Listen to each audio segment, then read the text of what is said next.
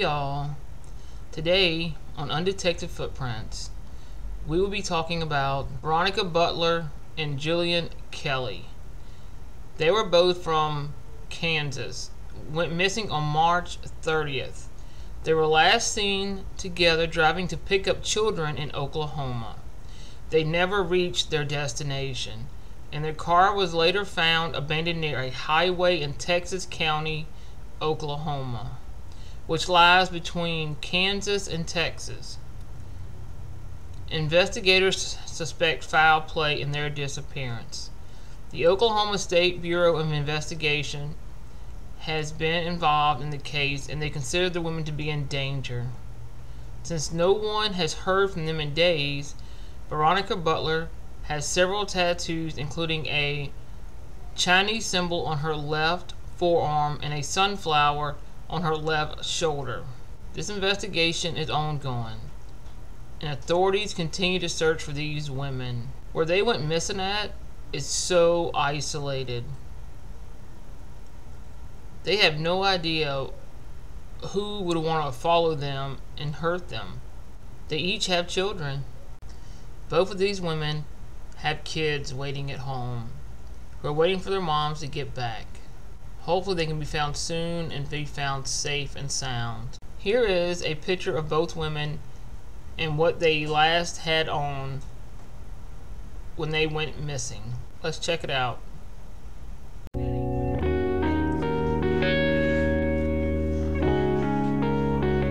Up next is a video from News Nation about their disappearance. Let's take a look. Spent the day at that very spot. She joins us live now from Liberal, Kansas. So, Brooke, what was new? What'd you find out today? Well, Ashley, I have been on the phone really all afternoon with OSBI trying to get some more information on this case. What I learned today is that investigators say they are still hopeful that these two moms are alive today. And we know that investigators are focusing very heavily on that car that was found abandoned in that rural area in Oklahoma.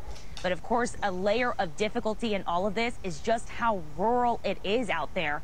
We went out there today, my crew and I, to really get the lay of the land. Here's what we saw.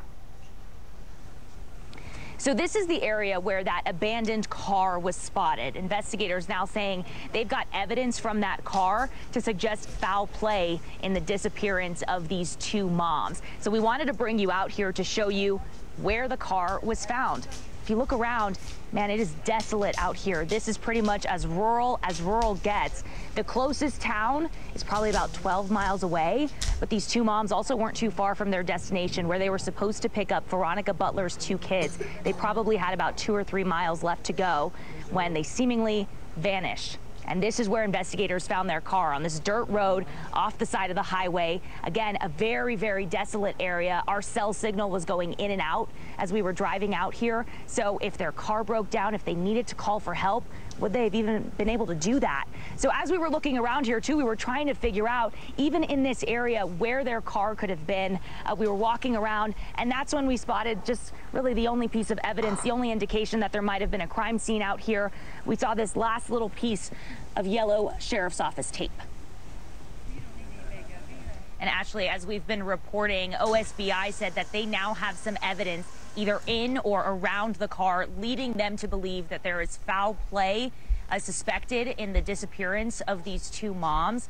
We've heard some rumors that there was blood around the car. I've pressed OSBI trying to confirm that information. So far, though, investigators not saying what evidence they have in that car.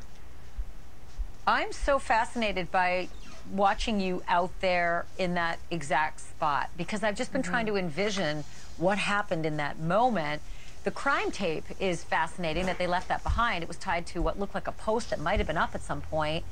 But there was also that depressed area yeah. of grass. Do we know if the car was off the road and in that depressed area of grass? Do we know if the car was on the road? Like any detail like that? I've gotten a couple of conflicting reports, Ashley. I talked to one guy out there this morning who said he saw the blue car abandoned there on Saturday. He said he didn't see anyone around. By the time he saw the car, it was empty, but he was a little ways away.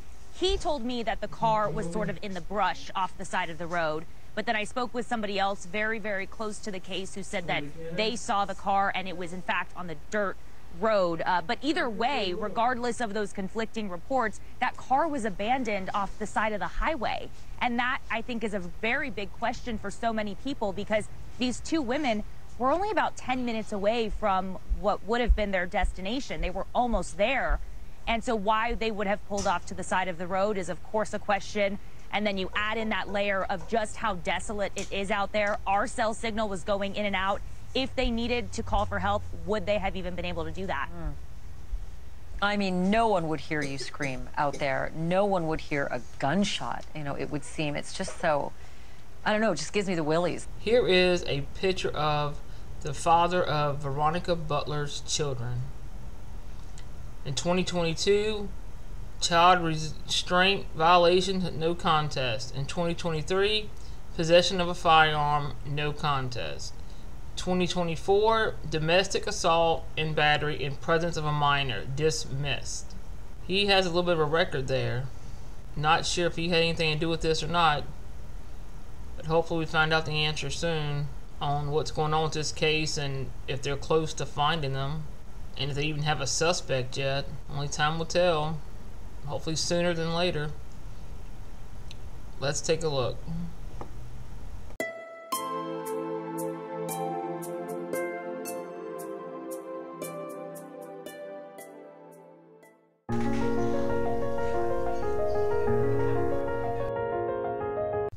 Here is a video that News Nation did, I believe on Friday. Any updates that could have been within the past week.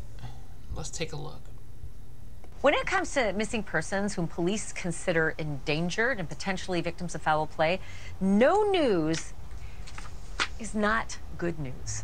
But here we are, almost one full week since these two, Veronica Butler and Jillian Kelley, set out from rural Kansas just to pick up Veronica's kids. They were in Eva, Oklahoma. And um, you know what? It was not far from the state line. We just needed to make it there, but something happened on the way. The women's car turned up on the side of the road in the panhandle, just about three miles short of their destination. The women themselves have not been seen since, but there was something in that car. Something that shot red flags a mile high over those grassy plains. Why won't the investigators say what that something was? Today in the women's hometown of Hugoton, Kansas, a public outpouring of concern, people gathering just to, to pray and just to be together as another day passed with a whole lot of silence. I want to get to Brooke Schaefer right now. She's News Nation's national correspondent. She's been there all day, all day yesterday, several days, in fact. She was at the vigil. Gosh, it looks behind you like there's northern lights, but um, it's such a serene place where you are. I, I, don't expect to see this kind of a story develop, and I'm imagining that the people you're talking to feel a bit the same way. That's exactly what they're saying, Ashley. So many people have told us this just doesn't happen here. And like you said, we're going on almost a week now that these two moms have been missing. Tomorrow marks one week. And today, still really no updates from authorities. We really haven't gotten a major update from them uh, since really since I think it was Wednesday when we found out that they now suspect foul play. Uh, since then, I've been calling OSBI multiple times a day trying to get any information. Uh, so far, no leads, no suspects, no arrests, no idea where these moms are as we head into the weekend now with little to no information. But I keep hearing tips and leads pouring in, and I get so, yeah. I don't know, buoyed by, by that. Um, and yet, still, they're so tight lipped about it. And, and I still can't get my head around how are they trying to spur tips and leads when they're not engaging with the press and asking for them?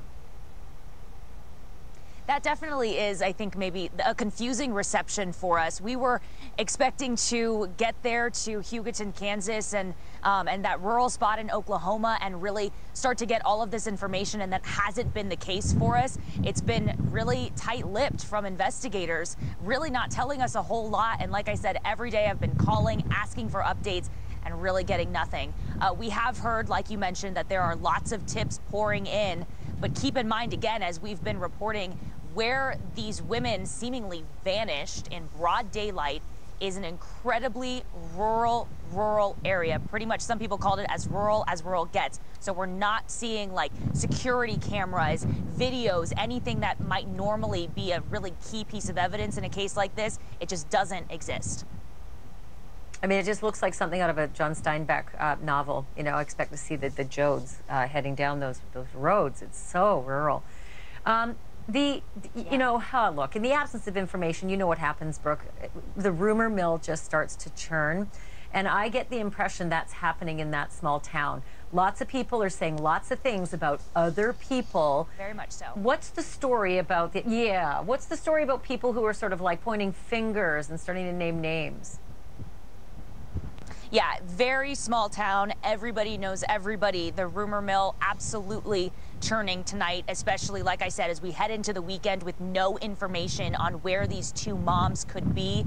Today, we were hearing some rumors about possible activity in the case, some suspects there.